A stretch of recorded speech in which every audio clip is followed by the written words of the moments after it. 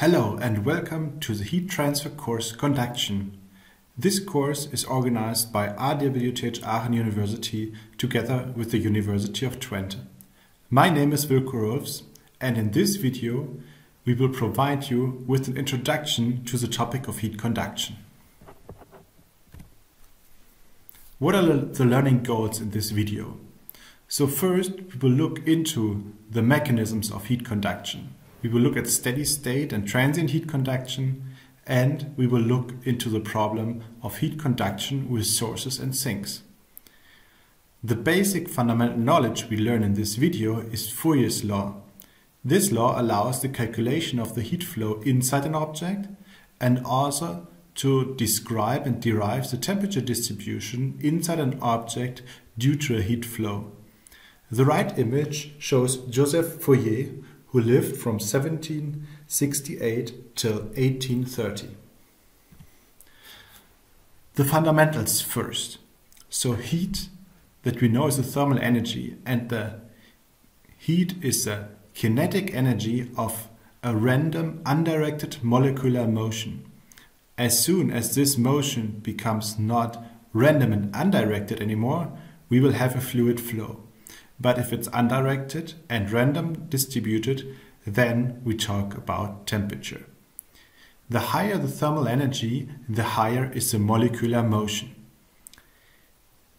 The heat flow is energy that is transferred between two systems of different temperature. And the temperature difference is the driving potential for this energy flow. The temperature itself is a technical measure for the potential of thermal energy in a body. Heat conduction is a result of this temperature difference and driving potential and it depends on the type of material how heat conduction takes place. So for gases and liquids, heat conduction is basically caused by collision of molecules that then exchange their inner energy or their velocity or kinetic energy. In solids, heat is also transferred by lattice vibrations. So in a crystallic lattice, for instance, of a metal, this is then transferred first by those motions of the lattice and on the other side, in metals, there is another mechanism, and that's the conduction by the movement of electrons. Here, this image or video shows a nice uh, way of how energy is transferred in such a lattice. On the left side, those molecules are brought into a motion, and then there is a waves that travel through the material and transport the thermal energy. Let us now classify different types of heat conduction. So first, and that's the large first part of this entire lecture, is a steady state heat conduction.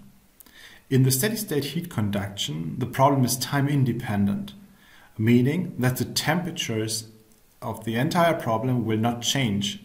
So temperature are constant inside the body and also outside the body, meaning that the entire energy that is entering the body due to Q dot in will be equal to the entire energy that leaves the body equal to Q dot out.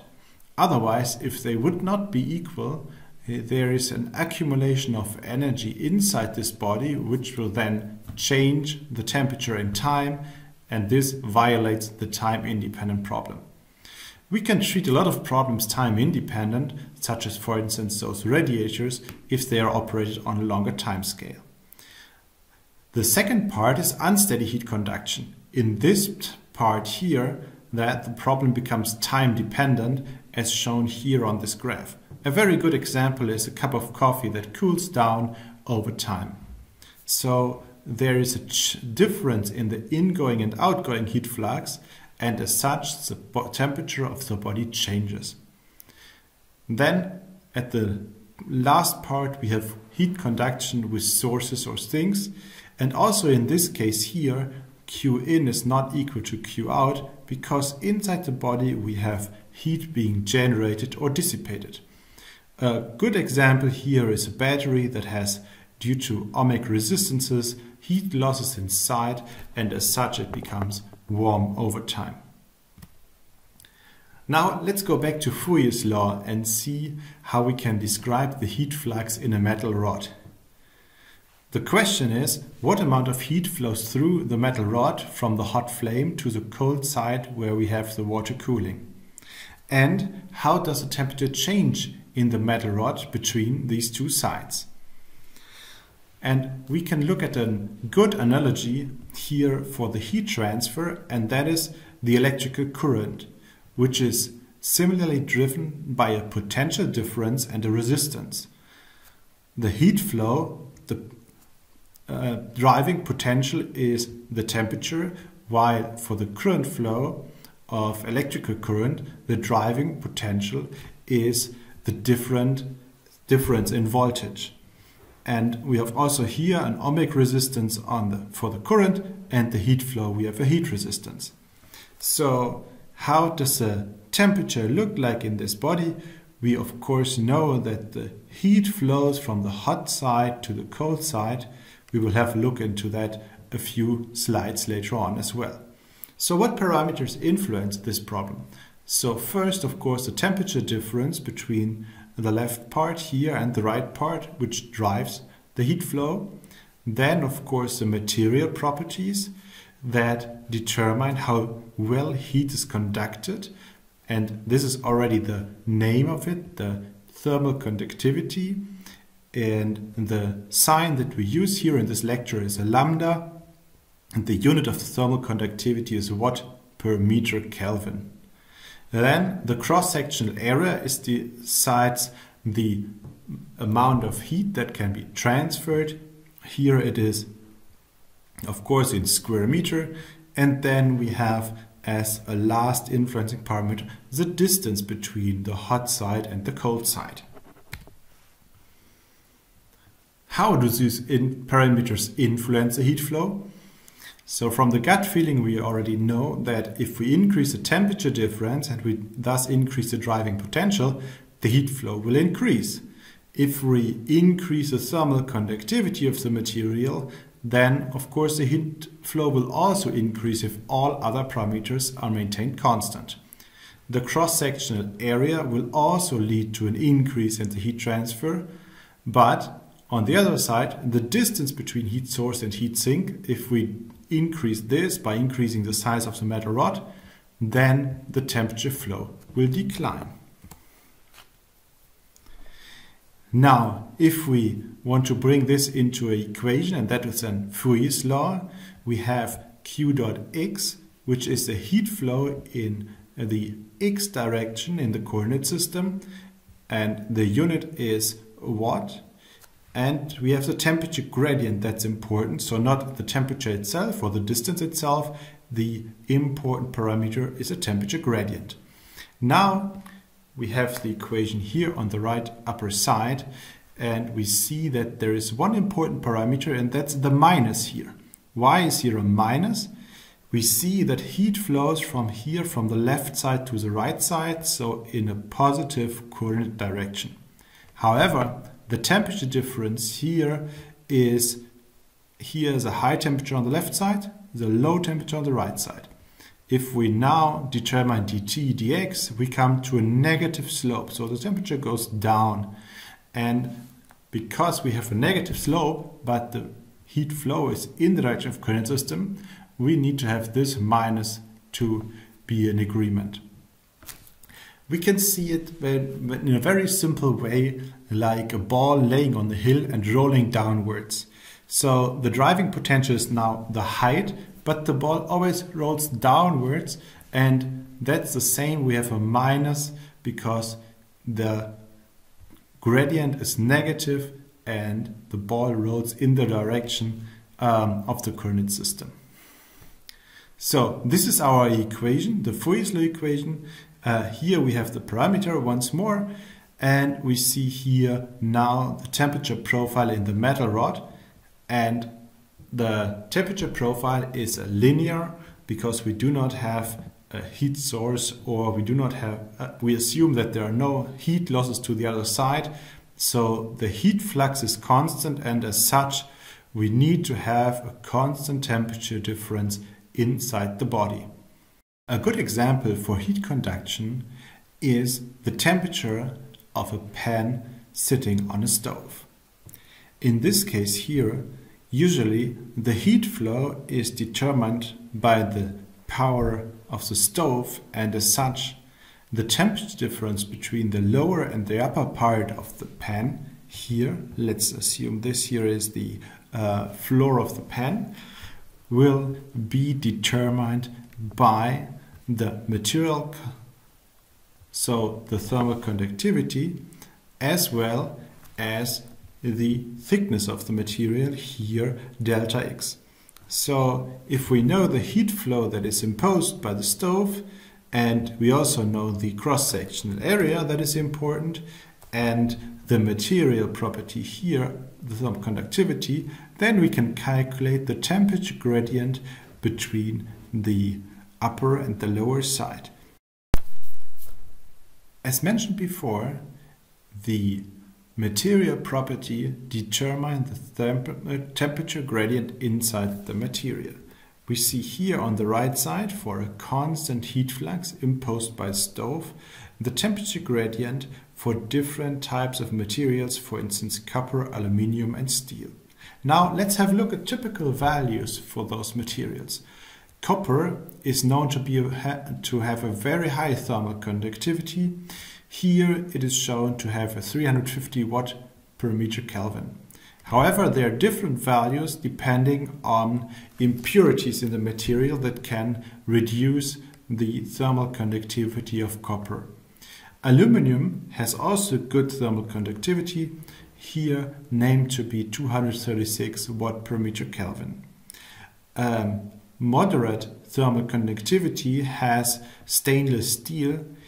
Even compared to copper and aluminum, it's a very low thermal conductivity because stainless steel comprises of a lot of different um, uh, atoms and their interaction reduces the thermal conductivity of the material.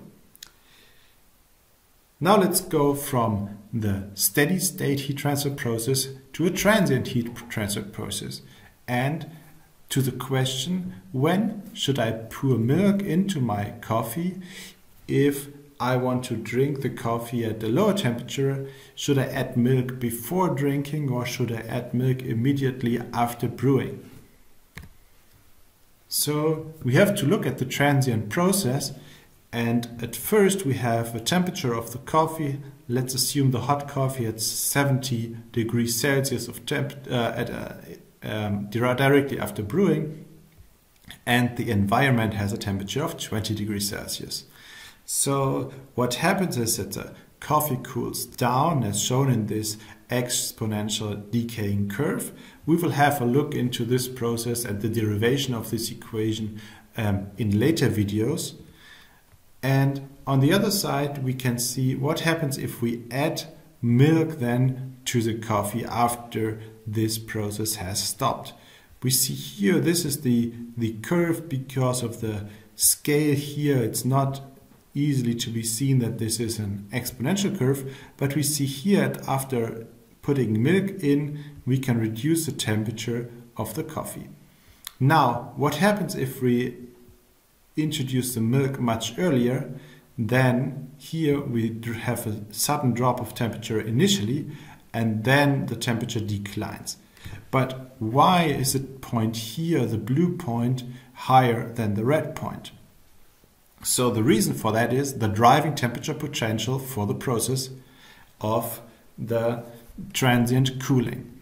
So for the red curve, the temperature difference is high here between time 0 and time 900 seconds. And in that time, the coffee cools down more quickly than the temperature difference that is lower and then the heat loss to the environment is reduced. And as such, pouring milk into the coffee initially allows the coffee to stay longer on a higher temperature.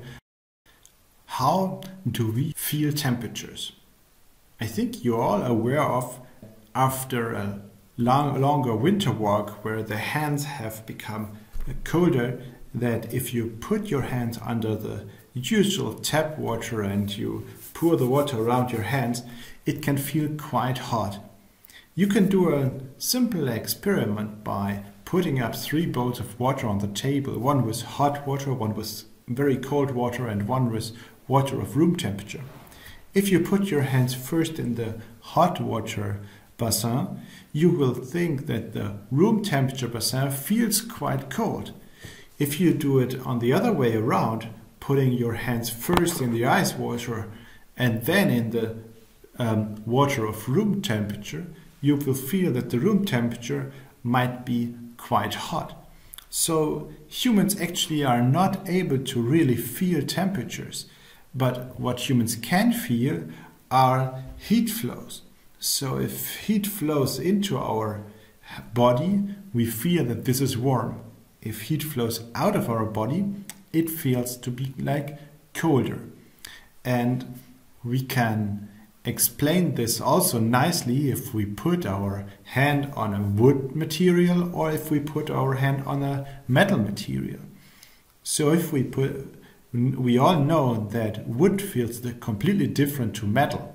And that's not because the surface is quite different in its feeling. It is because of the feeling of the temperature. We actually feel that if we put our hand on a wood table, that it is quite warm because the wood does not um, conduct the heat away that fast. If we put our hand on a metal table, instead, it feels much colder because the metal table is able to conduct heat away from our hand in a different manner, in a much faster manner.